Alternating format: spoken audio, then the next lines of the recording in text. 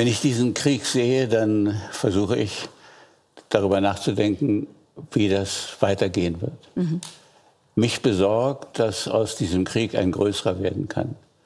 Und äh, wenn selbst von amerikanischer oder von russischer oder von neutraler Seite gesagt wird, es könnte ein Weltkrieg daraus entstehen, dann ist das eigentlich das, was mich am meisten interessiert. In einer Welt des rapiden machtpolitischen und technologischen Wandels müssen sich Deutschland und Europa strategisch neu orientieren.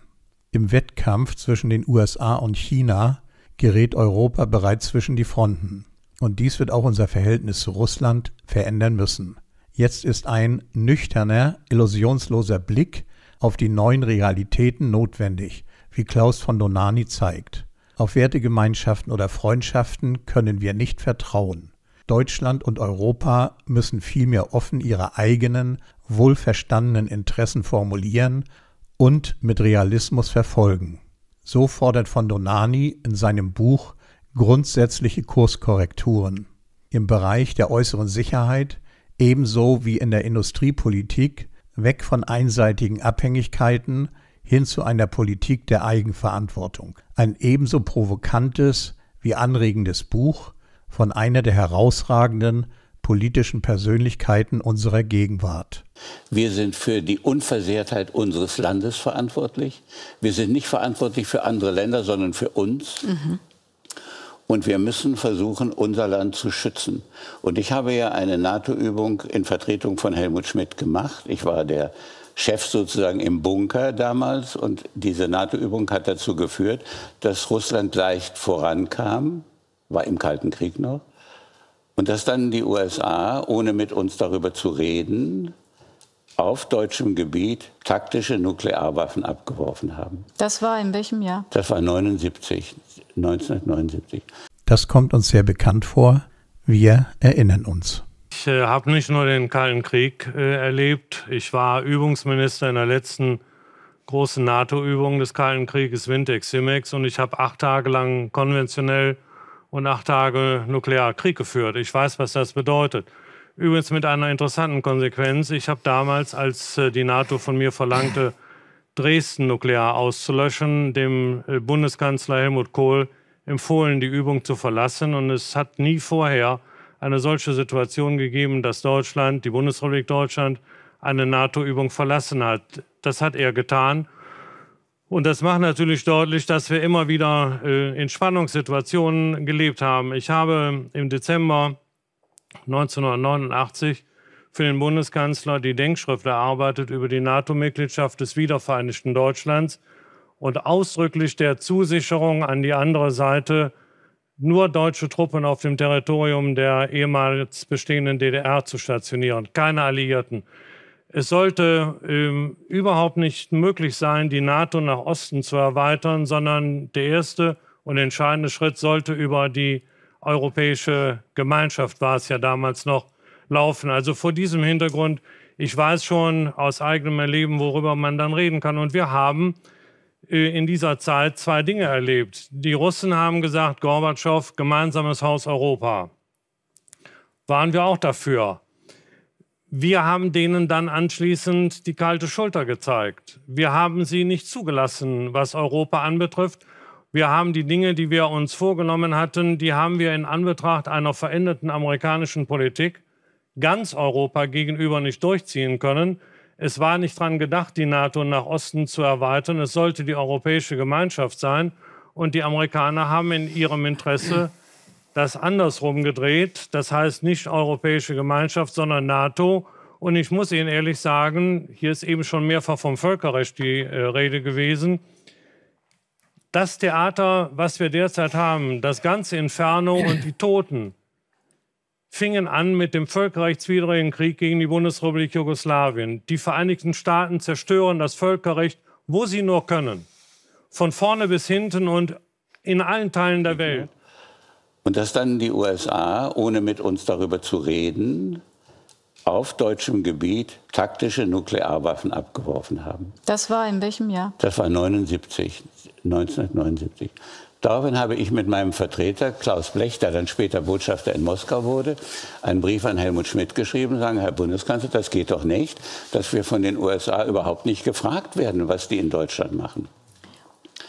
Dann hat Schmidt mich empfangen und dann bin ich zum Bundeskanzler gegangen und habe gesagt, äh, das ist doch ein unmögliches Verfahren. Da hat er gesagt, ich weiß, das ist NATO-Strategie. Wenn ein solcher Angriff geschieht, werden bei uns nukleare taktische Bomben abgeworfen.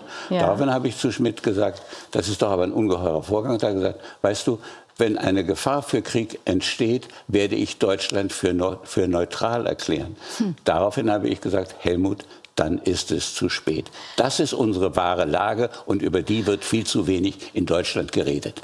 Also ein Atomkrieg wäre wahrscheinlich nur ein Zufall weil keine der beiden Mächte, die hier Atom, über Atomwaffen verfügen, weder Russland noch die USA, einen Erstschlag machen würden, denn dann kriegen sie genauso einen Schlag zurück. Dafür sind beide Seiten gerüstet. Mhm. Das wirkliche Problem ist eine Ausweitung des Ukraine-Krieges auf Deutschland und das genügt ja. Es hat ja im vergangenen äh, Zweiten Weltkrieg keine Atomwaffen in Europa gegeben. Und trotzdem war Deutschland total zerstört. Ich wünsche, dass manche, auch manche der Zuschauer hier, sich mal die alten Bilder angucken, wie die Städte aussahen und was in diesen Städten geschehen ist. In Hamburg innerhalb von äh, drei Tagen 34.000 Tote, zivile, nur zivile Tote und 160.000 Verletzte bei einem großen, bei mehreren hintereinander laufenden Luftangriffen. Das sind die großen Gefahren. Wir werfen uns einer Logik, die natürlich den Zeitgeist prägt. Eine Logik, die also von Lügen und falschen Urteilen völlig durchsetzt ist.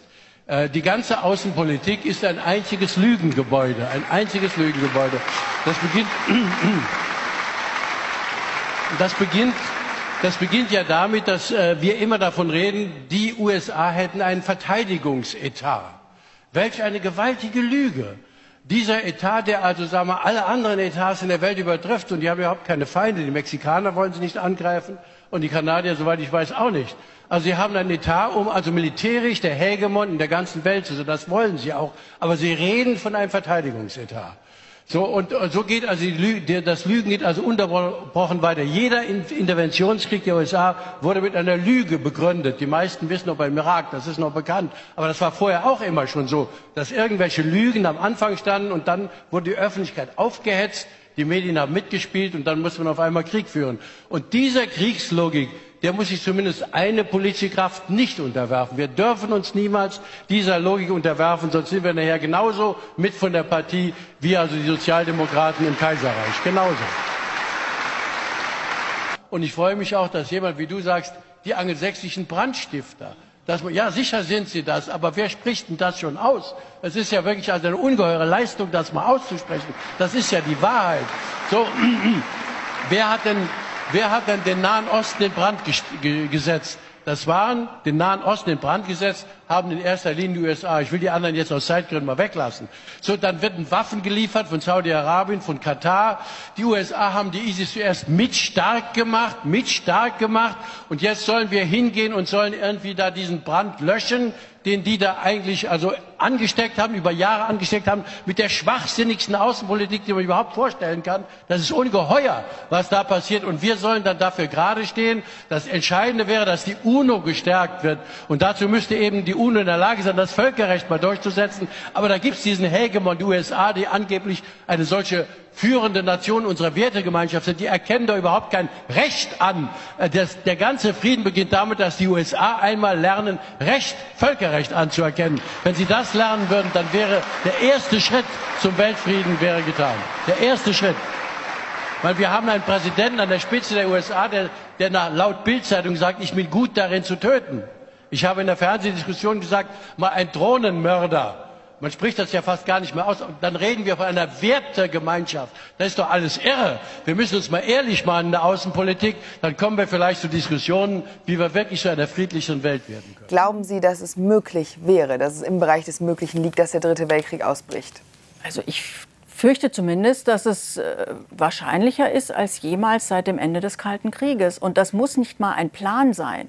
Also ich glaube auch nicht, dass Putin morgen auf den Atomknopf drückt. Da ist auch viel Drohpotenzial und so weiter. Aber Wir liefern Waffen. Wir bilden ukrainische Soldaten aus. Was ist, wenn Russland zum Beispiel eine Waffenlieferung, eine Panzer oder was auch immer angreift, bevor sie ukrainisches Territorium erreichen?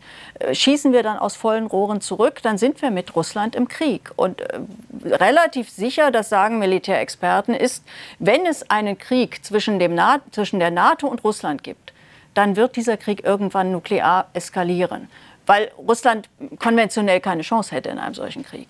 Und das ist eine unglaubliche Gefahr. Und ich sehe auch zum Beispiel jetzt, äh, Finnland wird in die NATO, also Finnland, Schweden werden eintreten. Russland hat angedroht, dass, er, dass sie dann Kaliningrad aufrüsten. Das heißt, immer mehr Militärpotenzial steht sich gegenüber. Und auch im Kalten Krieg war immer die Angst, dass mal ein Missverständnis, also einfach ein Computerfehler, weil die Vorwarnzeiten so kurz sind, äh, dazu führen kann, dass einer auf einen vermeintlichen Gegenschlagknopf drückt und es ist gar kein Gegenschlag. Und auch dann ist nuklear äh, Europa also sowas von verheert und, und es werden Millionen Menschen sterben. Also ich finde das ganz gefährlich, was aktuell passiert.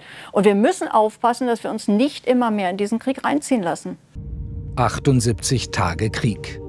Ein Angriffskrieg gegen einen souveränen Staat. Ein Krieg gegen die Zivilbevölkerung ein andauerndes Kriegsverbrechen.